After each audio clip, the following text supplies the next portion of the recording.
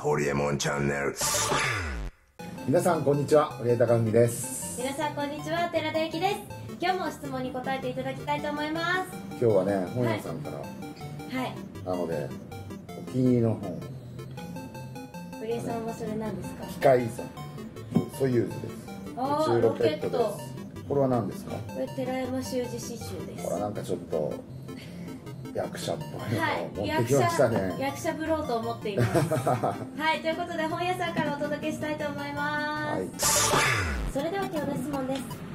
自分が作りたい商品を作りたくても作り方がわからない場合ってどうすればいいでしょうか？例えば孫正義さんが若い頃シャープに売り込むための自動翻訳機を作ったり会社が大きくなってから携帯電話を作ったりしていましたがどうやって作っていたのでしょうか？孫さんはそれらに対する電子基盤のプログラミングや設計の仕方などに対する知識はどれくらいあったのでしょうか？孫さん自身は別にそれらに対する知識はほとんどなく中国かどこかに発注して作ったりしていたのでしょうか？そうだとしたらそれと同じ要領で VR 系ロボット系の製品を作ることは可能でしょうかという質問です。はい、はいということで今日も質問に答えていきたいと思います。思います。本日はですねここパブリッシングブックセラーズからお届けしたいと思います。全然ダメだよ。違うんだよ。渋谷。渋谷。パブリッシングブックセラーズですよ。渋谷パブリッシングブックセラーズからお届けしたいと思います。はい。はいということで本日のゲストはですね。はい、えっと、堀江さんのロケット会社でインターステラテクノロジーズの稲川です。よろしくおお願いします。ねこんなおしゃれな本屋さんなのにね。はい、こんな感じですいません。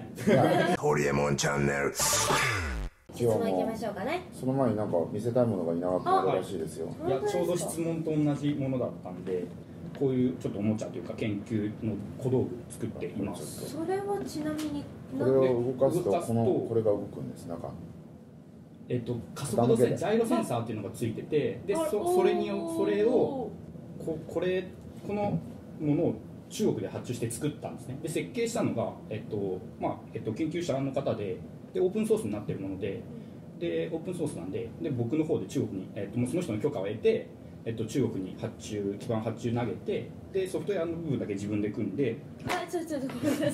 えっと、壊れる可能性があります。すいません。じゃあ質問の方はい質問にさこういうふうに答えます、まあ、知識がある人に作ってもらえばいいんですよと。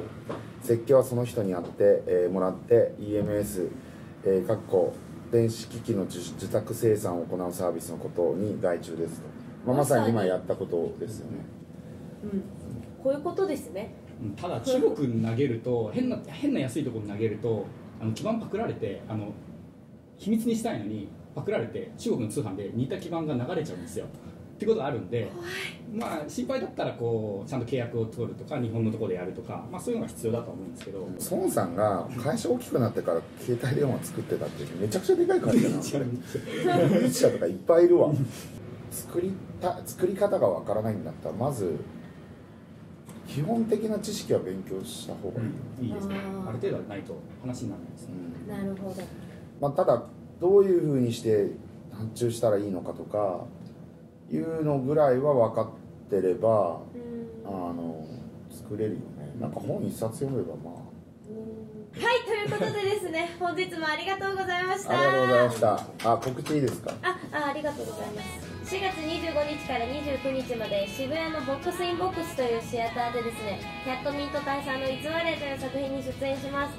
えっとドタバタコメディすごく面白い作品になっていますので皆様ぜひ女優の顔寺田見に来てください。お願いします。はい。ということでありがとうございました、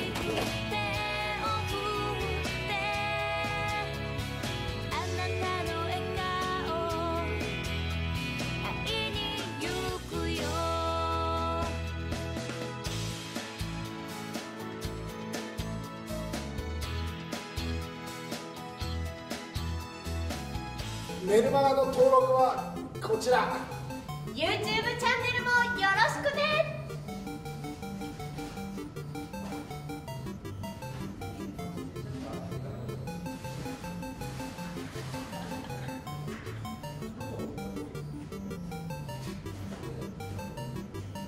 結構苦しいついてる